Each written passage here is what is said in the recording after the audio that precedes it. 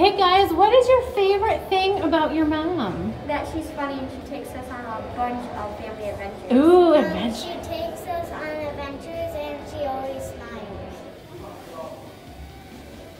She's kind to me. Ooh, she's kind to you. Kyler's daddies. super strong and she gives us, uh, like, I don't know, she just gives us hope. She gives you help. That's awesome.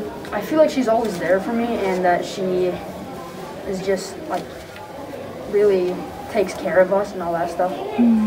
What about you, Zoe? What's your favorite thing about your mom? Well, she always helps us do stuff when it's hard to do. Well, she helps her out around the house, even when nobody asks her to do it. I think when she still sets up the pool we have, My favorite thing about mom is that she always loves us no matter what and she's always kind. uh, my favorite thing about my mom is that she's funny. What's your favorite thing about your mom? So my mom is always there. She's very supportive. And of course, she thinks I'm handsome. Favorite thing about my mom is that she's never going to stop loving us. But she's nicer than my dad. That she loves you. Yes. Besides her baking, uh, my favorite thing about my mom would absolutely be the fact that she has always believed in me, always cheered me on, always been for me, and always been a prayer warrior for me. Name hug. Favorite thing about my mom is that she's never going to stop loving us. She makes me feel safe when I'm scared. What's your favorite thing about your bonus mom, Cynthia? So Cynthia is very thoughtful. She's very positive, and she has a great sense of humor. Is there anything you want her to know? That we love her a whole bunch. Because I love her.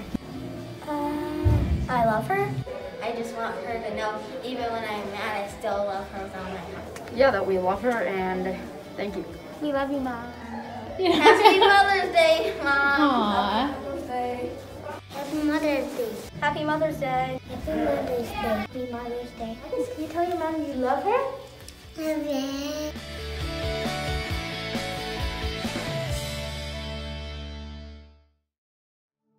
Good morning, Faith Church, and happy Mother's Day. Um, your kids are so stinking cute. I had so much fun making that video with them. Um, I hope it blessed your hearts and that you know how loved you are today.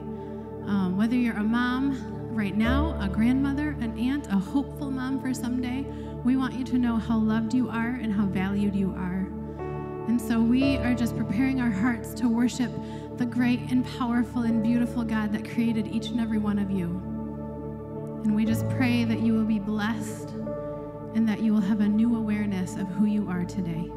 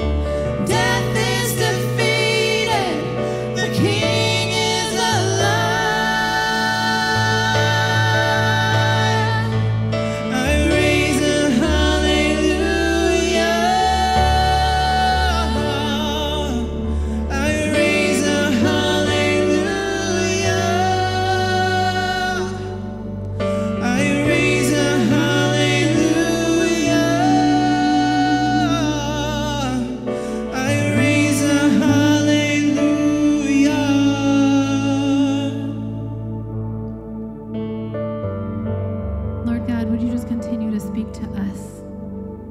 No matter what we are feeling right now, Lord, help us to feel your presence. Help us to sit in your peace as we hear from your word today, as Pastor Kirk brings the message.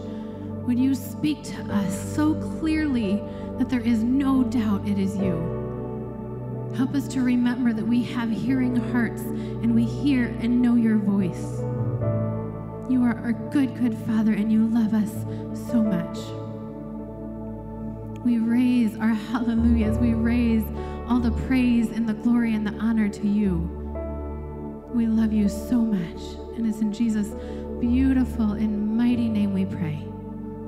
Amen. Good morning, Faith Church. We are so glad you are joining us today. Happy Mother's Day to all the mothers out there and all the motherly figures out there. We love you and we're so glad you're joining us today. I am Courtney Knopf, the children's director, and And I am Kirk Proctor, and I'm one of the pastors here at Faith Church. And we really are. We're glad that you're joining us. And uh, just with what Courtney said about moms, we do want to say Happy Mother's Day. We also recognize that for some of you, Mother's Day is not the easiest day. It is a challenging day uh, for you. And we just want you to know that even as we pray, prepared and prayed for today, we've been praying for those of you that this is a challenging day. And just want you to know that, that in these moments that God loves and cares for each and every one of you ladies. But we're thankful that all of you uh, that are tuning in have chosen to be with us today. And, um, and so we've just got a couple things to share with you. Uh, one of the main things coming up in the life of our church is we're excited to tell you is that NTS camp for the teens is coming up. We're so excited. This is their favorite week of the year every year. And uh, we are bringing back an oldie but a goodie fundraiser that Courtney, you've never gotten to experience with us, have you? I haven't, but I've heard it's pretty amazing.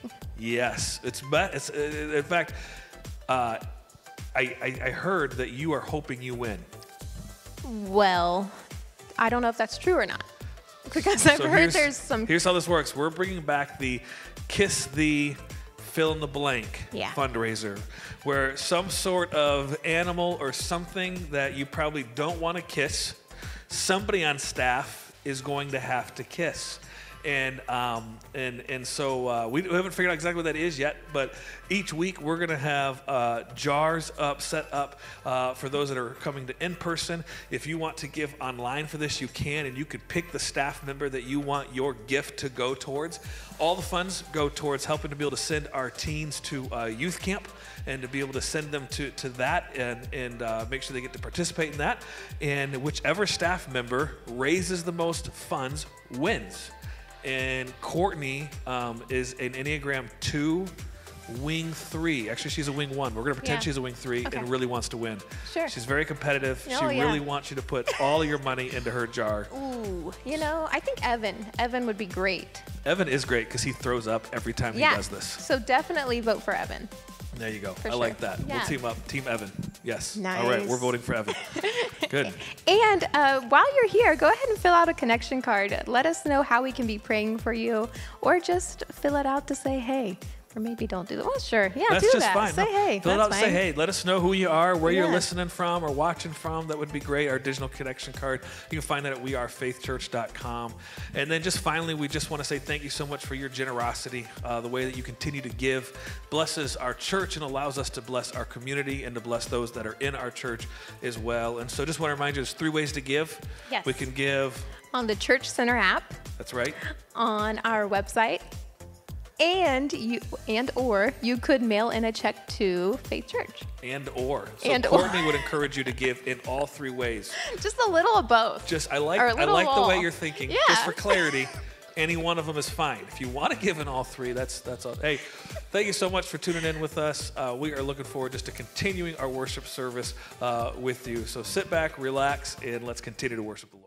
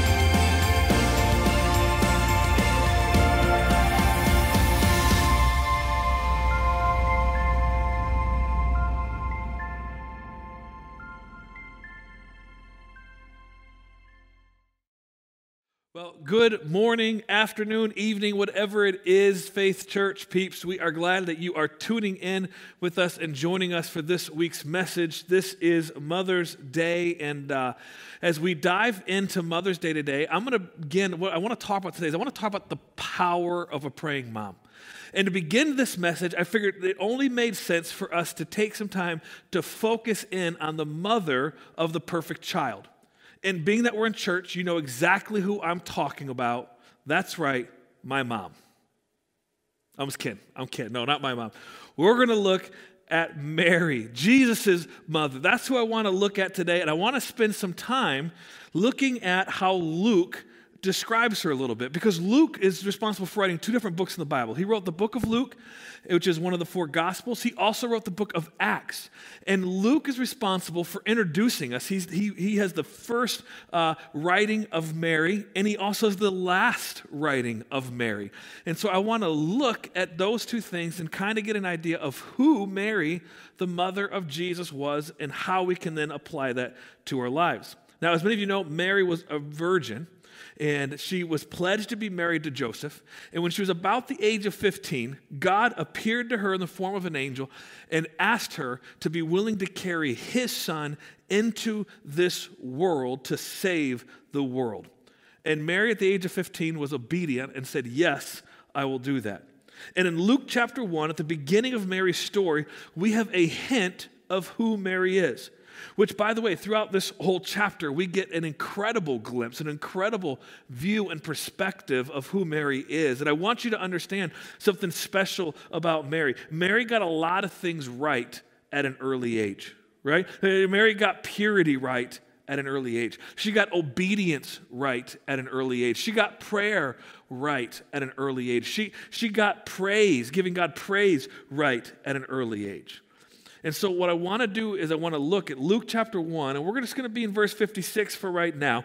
Luke 1 56, this is Mary speaking. This is a prayer of praise from Mary. And watch what she says. It says, My soul gratifies the Lord, and my spirit rejoices in God my Savior, for he has been mindful of the humble state of his servant. This is the beginning of a prayer of praise that she has to God for his kindness and mercy to her. And she does a whole song here of prayer and praise. It's magnificent. I'd encourage you to go read through it and see it. You'll get an idea of the heart of Mary. And, and, and the point that I'm trying to make right in this moment is just that Mary got a lot of things right early on, and especially this idea of prayer and praise. So, listen, if, if you're paying attention and you're listening to this and you would categorize yourself at all as young, however you might describe young, but if you are young, get things right early the earlier in life that you can get things right, it, it, when you get things right early, it frees up the blessing of God over your life. It frees up the blessing of God over your life. And Mary got a lot of things right at an early age. And she definitely got prayer and praise right at an early age. Well, if we jump now further ahead, Luke 1 gave us a glimpse of the, the, the, first recording of Mary in Scripture. If we jump now to Acts chapter 1, we get the last uh, recorded um, reference to Mary in Scripture. And it paints a, a picture of her as a person who continued throughout her life to get prayer right. And in Acts chapter 1, at this point in time, some time has passed. Mary is now probably about the age of 49 to 50 years old. And, and, and this is after Jesus has voluntarily gone to the cross, been crucified upon the cross for you and for me. He conquered sin and death and did that for us. Now, of course, the Jewish and the uh, Roman leaders, they think they're done dealing with Jesus. They think, yep, we killed him and he was buried and he's gone. But as you know, he rose from the dead, conquering sin and death for you and me. And so this is taking place after that. Jesus has now risen from the dead. He's resurrected. He, he, he's met with his followers and he's given them some direction. And he told them to go into the upper room where they were going to spend an extended amount of time specifically honing in on waiting upon God. And while they were waiting, they were to spend their time in prayer. And this is significant. This time of prayer in the book of Acts, right at the beginning, it's significant because it's out of this time of prayer in the upper room. It's from this that the early church is born. I mean, this is so, this is so incredible to understand. These prayers, when, when Jesus told them to go there and to pray, these prayers they're praying is what birthed the early church. Do you understand? I want you to get this that the church was born not while someone was preaching, but while people were praying. Do you understand that? The church was born not while someone was preaching, but while people were praying. And here in Acts 1 is those prayers that were taking place that launched the early church. Out of that prayer meeting in the upper room, the church is born. Do you understand what this means? This means, this tells us that prayer releases the kingdom of God. That when you come to the throne of God and you are praying, is it begins to open up the doors of the heavenly Father and it releases the kingdom into our world, into earth, into your life, into where you're at.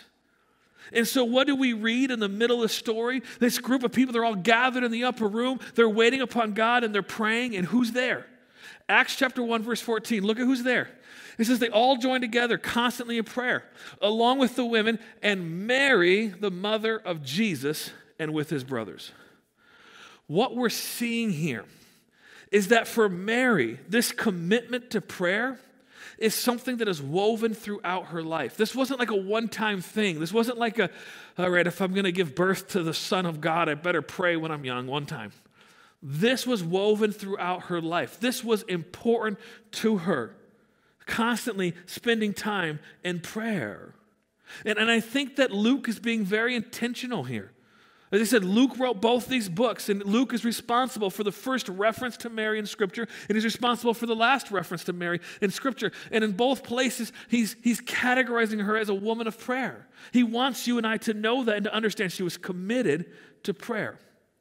And there's a truth here that I want to point out, that I want us to see. You see, when it comes to prayer, I believe that it matters who prays. I believe it matters who prays. And here's what I want you to understand about this. Oftentimes in life, when we come up against something, when something challenging shows up in our life, our thought is, I've got to go find somebody else to pray for me. Now, that's a great thought. That's a right response, a right action. It's a good thing when you are challenged by something to go and to gather others and ask them to pray. So, in no way, shape, or form am I arguing against that or saying you shouldn't do that. But what I'd like to do, if you'll allow me, is I would like to, I'd like to add to that if I can.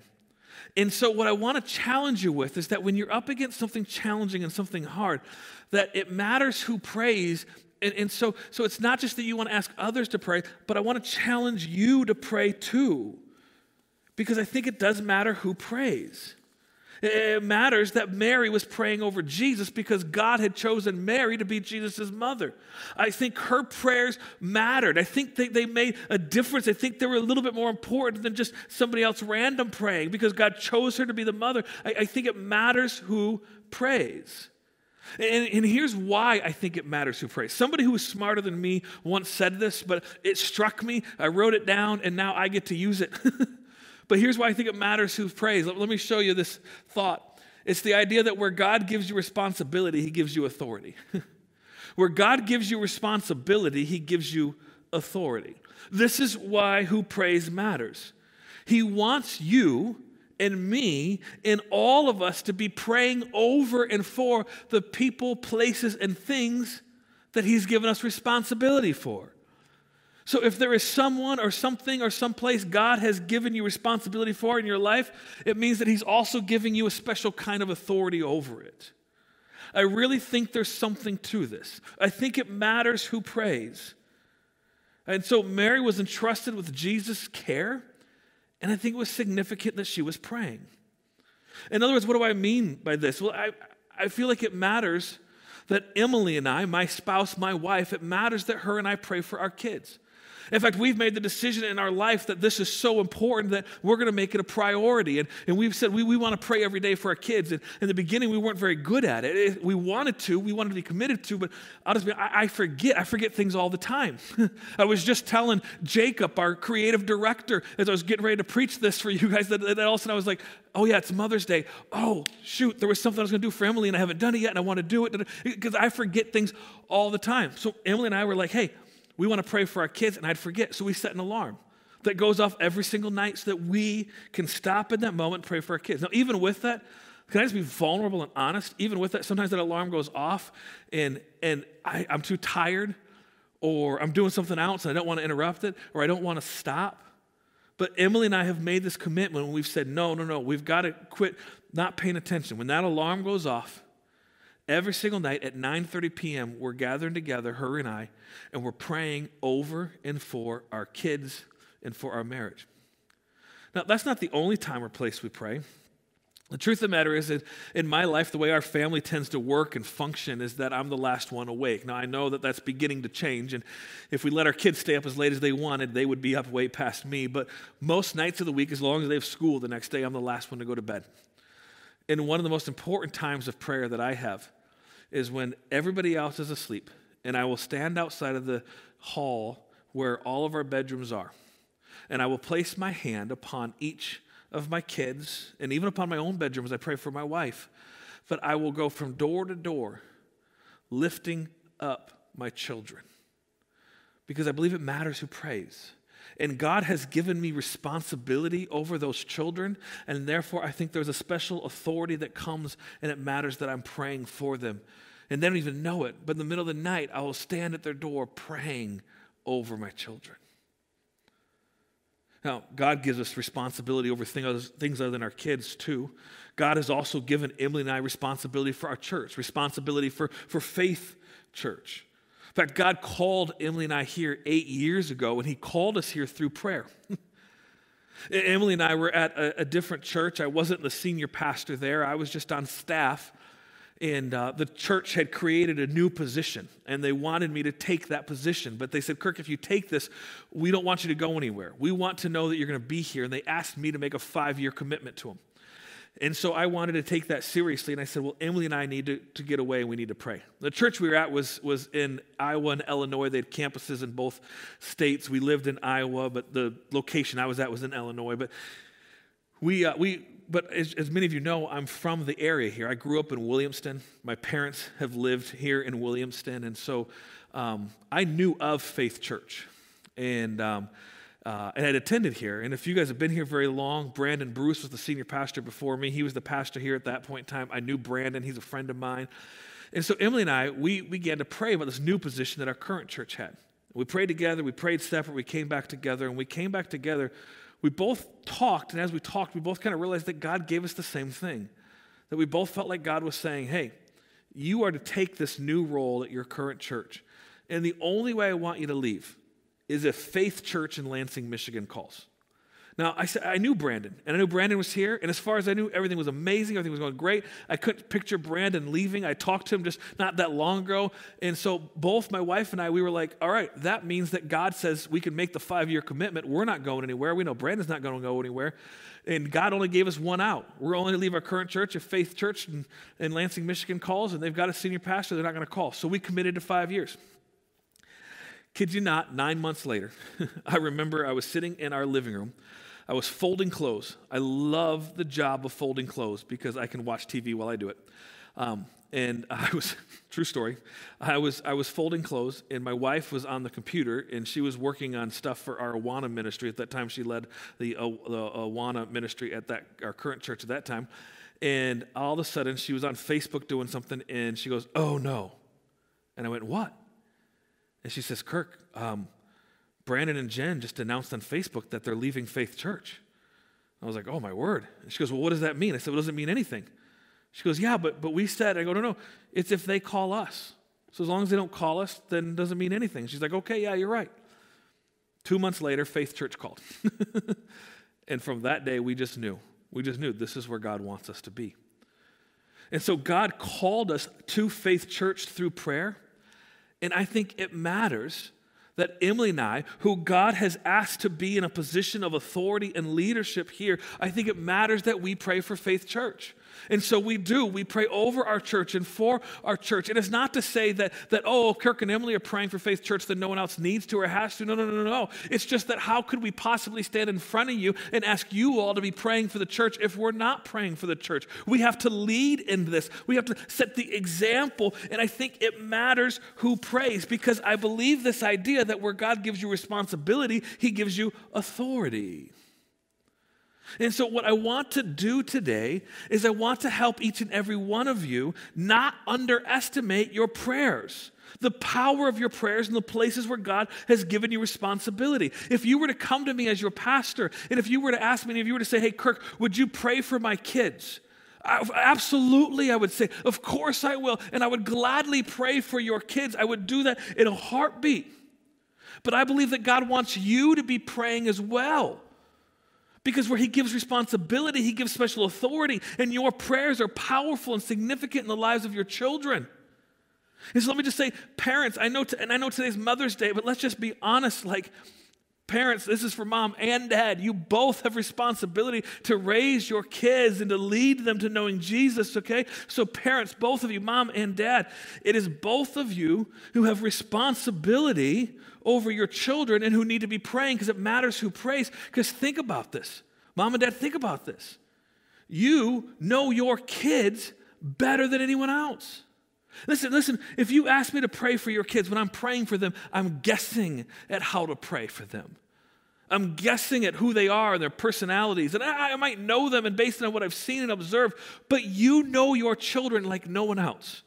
You know their struggles, their hurts, their temptations, their pains in life. You know their personalities, their strengths, their weaknesses. You know what they're up against. You know what they're facing. You, better than anyone else, knows how to pray for them. I think it matters who prays. And so I think we should follow the example of Mary and pray over our children. And let's not pretend that this was some easy road for Mary. She was a mom. And I know, I know, I know. She had the perfect child. Can, can you imagine? Can you just imagine for a minute being the mother of Jesus? Go to sleep now, honey. He sleeps. Wake up now. And he wakes up. Do what mommy says. Okay, right? Like, like if you if you were the mother of Mary, you'd probably write a book on parenting. And you would call it How I Raised the Perfect Child. But Mary didn't have it as easy as you might think. Did you know that Mary actually had at least seven children? According to scripture, it actually names Jesus' four younger brothers. And then it also says that he had sisters, plural, meaning at least two. That tells us that Mary raised at least seven children, possibly more. And so, if you're raising seven children, you have every reason to need to become a prayer warrior. And there's no doubt, there's no doubt that Mary's children gave her gray hairs. I'll bet you by the time she's 49 or 50 and she's in that upper room praying for Jesus, I'll bet you she's got a whole head of gray. Which makes me think of a little story I heard one time about this young little girl who was sitting at the kitchen table. She was finishing up her breakfast. And as she's finishing up her breakfast, her mom is there in the kitchen, and her mom is cleaning up the kitchen and doing some work. And little girl notices something about her mom she hadn't noticed before. She sees in her mom's hair that there's a few hairs that stand out from the others. a few little straggling gray hairs that really stood out amongst the rest of the brunette hair. And so she asked her mom, she said, Mom, how come some of your hairs are gray and others aren't? And her mom looked at her and she said, Well, honey, every time you do something that makes mama upset or cry and that isn't right, Mommy gets a gray hair. That really made the little girl think. She sat there in silence for quite a long time.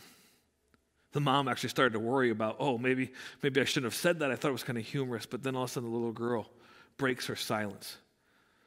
She goes, oh, she goes, Mama, why is grandma's hair full of, grandma's head full of gray hair then? Isn't it great how kids sometimes they flip it on you, right? well, back to our message. You see, God chose Mary to be the mother of Jesus. And in so doing, God chose who was going to be the prayer warrior over Jesus.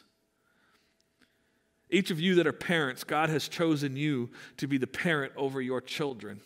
And in so doing, God chose who was going to be the prayer warriors over those children as well.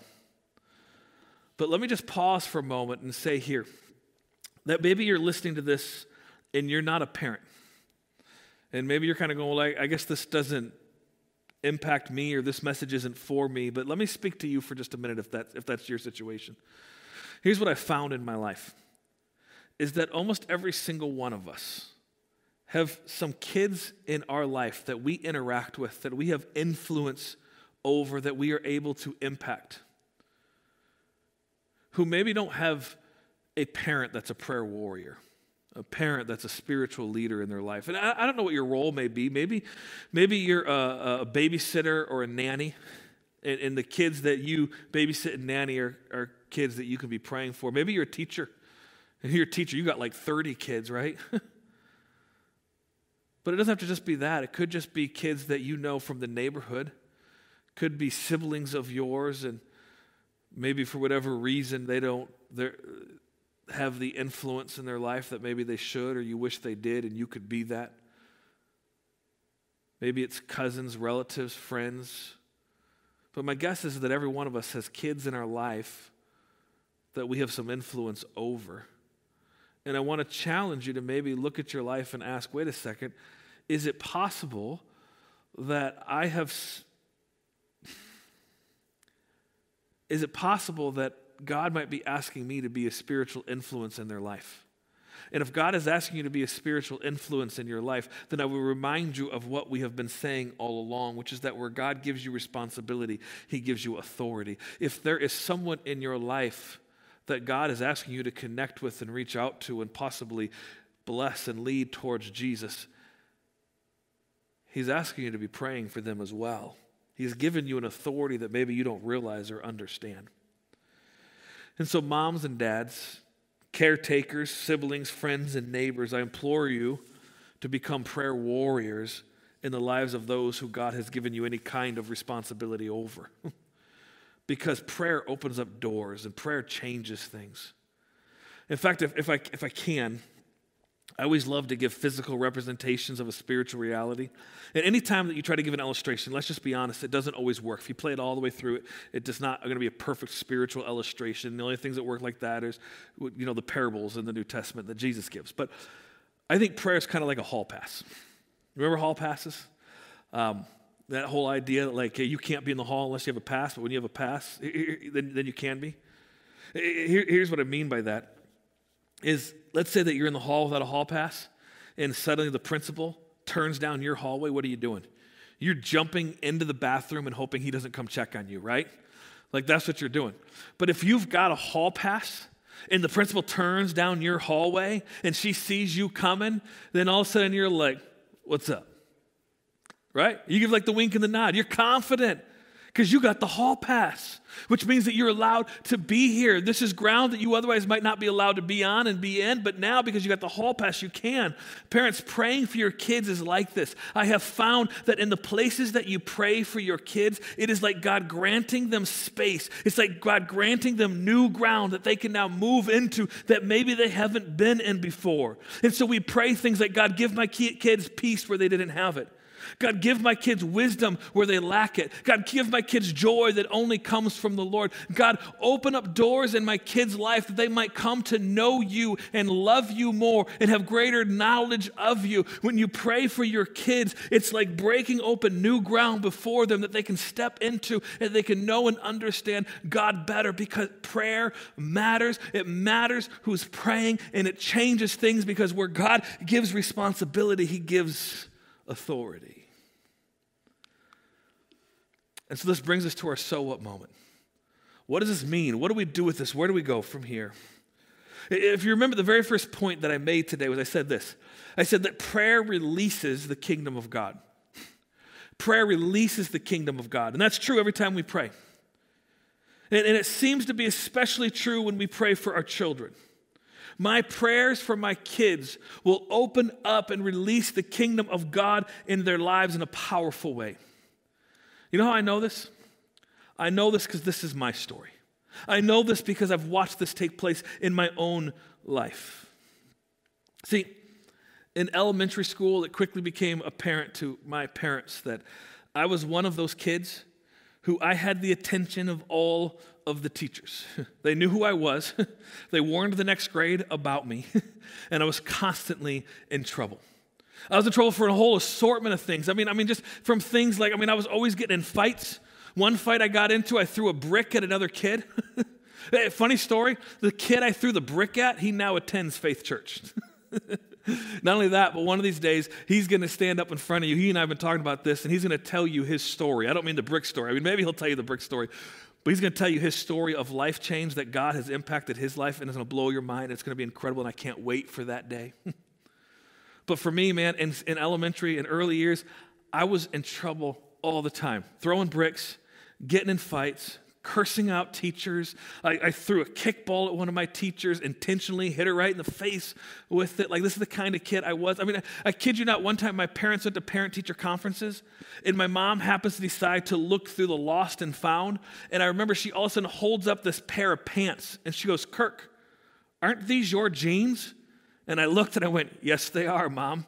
And she goes, What in the world? How did how do you lose jeans at school? Like how did you come home without pants on? How did i not know? Like this is the kind of kid i was. And so my parent i was always in trouble. I was always in the principal's office. My parents were always worried about me. It drove them to their knees. And my mom and my dad became these prayer warriors for their son because they were so worried about what was going to happen. They didn't know where to turn. They didn't know what to do. And so they knew the only place to turn was to the one who was the king the one who they could turn to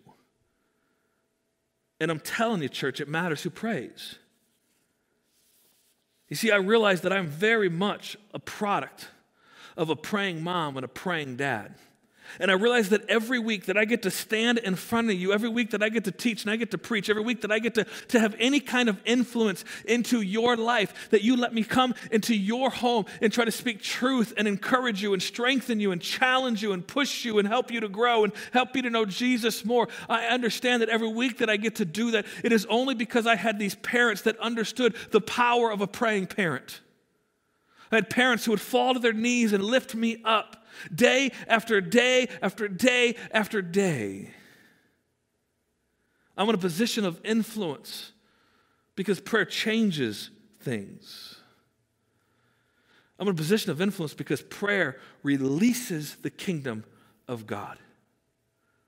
I watch this take place in my own life, and I know it can be a reality in the life of your children as well. I don't mean that that means that if you pray for your kids, they're going to automatically become pastors. That's not what I mean. They might. But what I do mean is that if you will lift up in prayer for your kids, it will release the kingdom of God into their life to where what they're going to do is they're going to begin to follow Jesus, to know and understand his will better, and to commit to that, which isn't exactly what we want as parents. That's exactly what we want. Like, I don't care if my kids play the sports that I played. I don't care if my kids are smarter than me or not as smart as me, get as good at grades or less as good at grades. I don't care about any of that. I don't care about any rewards, awards, or whatnot. What I care about is do my kids know Jesus and are they committed to following him in their life? That's what I want. And that is what I mean when I say prayer releases the kingdom of God. When you pray over your children, they may not do what you want them to do, but they will do what God leads them to do. And that's what every praying parent is praying for. It makes a difference, it matters. My prayer for you is that if you have any influence in any child's life, you'd say, I need to be speaking into their life through my prayers. Would you let me pray for you now? Heavenly Father, I want to pray not just for the parents, but each and every one of us who may be here that has any kind of influence and uh, into any other child's life. And it doesn't even matter how old they are. You know, the parents never stop praying. My parents are still praying for me to this day. And so, Lord, what I would ask is that, that may you show us who it is that you want us to be praying for. May you show us the, the places in the ground that you have given to us and said, This is where I want to release my kingdom. And I need you to be praying for this child. I need to be you to be praying for this teen. I need you to be influencing them towards Jesus. And it matters who prays. God, may we live in the reality of like where you give responsibility, you also give authority. Our prayers matter, they make a difference. Let us never doubt that, but rather be willing to step into it and say, okay, God, thank you for the call that you're putting on my life. It matters how I live, it matters how I pray, it matters how I trust. And may this entire church become prayer warriors for Jesus Christ. In Jesus' name we pray. Amen.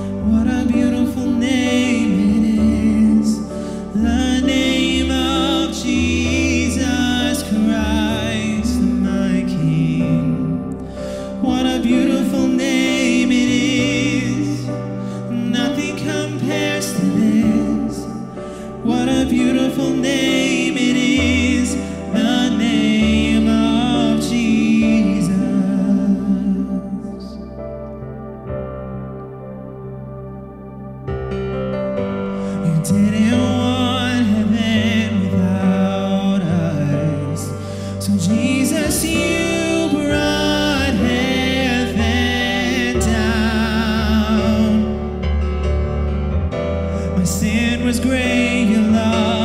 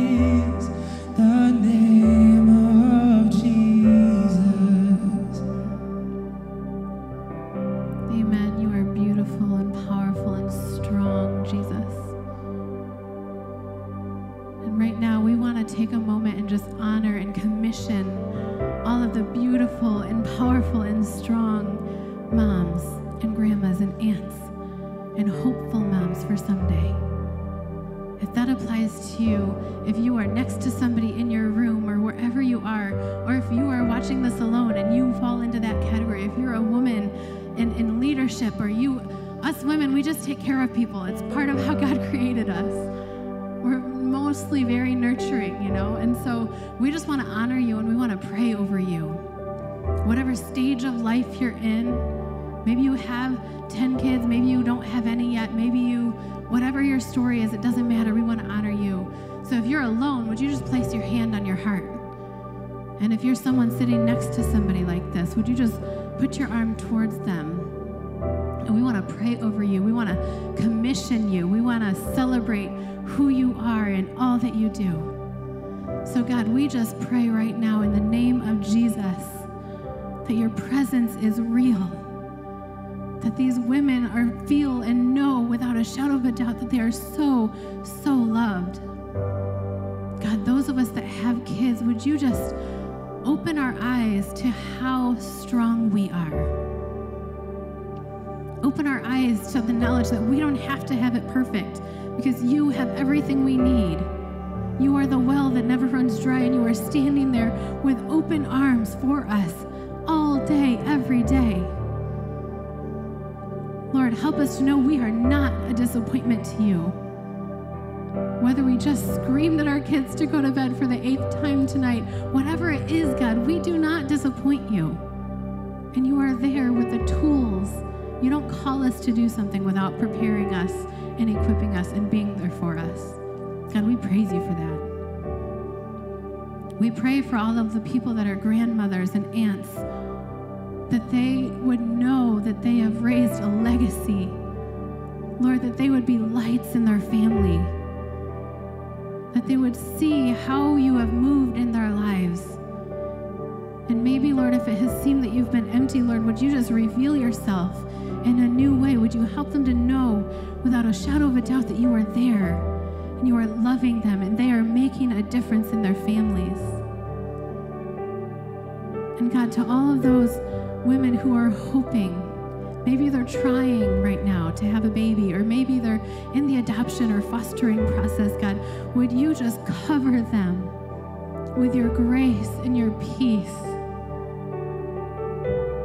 Would you remove any sadness or sorrow? Would you renew their hope and restore their souls? God, help this to not be a sad day for them, but a day that they look to you and they know their worth. And they know that the plans you have for them are for them to prosper and not harm them, for them to have a hope and a future. That is what your word says, and we are taking you at your word. For anyone missing a mama today, or missing a grandma, if they've had a recent death or it was long ago, that wound is still there, God, and we pray healing over that wound. We pray that they would find joy in their memories and peace in their hearts. And Lord, if their relationship is estranged, would you again just restore their soul and renew their hope? Your word also says that those who hope in the Lord will renew their strength. They will soar on wings like eagles. They will walk and not grow weary. They will run and not be faint. God, would you just lift us up on eagle's wings? Today is the day that we honor these women, that we honor these amazing, fierce warriors in your kingdom. God, remind them of who they are and how much you love them. Help us to take the blinders off and to stand firm and accept it for ourselves. You have so much freedom for us. Help us to accept it and to breathe it in and cement it deep down that the enemy may never snatch it away. We are yours and you delight in us.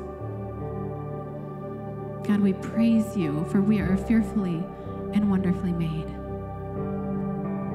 We love you and we bless these people. It's in Jesus' mighty and beautiful name. We pray these things. Amen. We have one more song for you today, and we just, we couldn't not sing this one. It's the blessing. We pray that God's peace and his favor be upon you and all the generations behind you. receive this blessing today.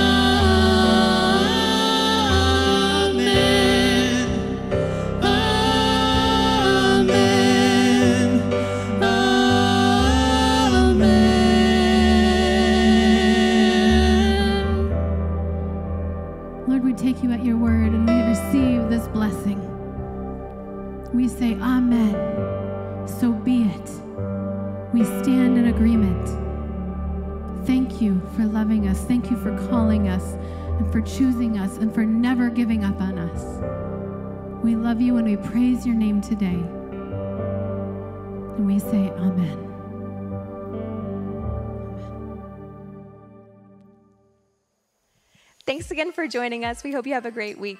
See you next time.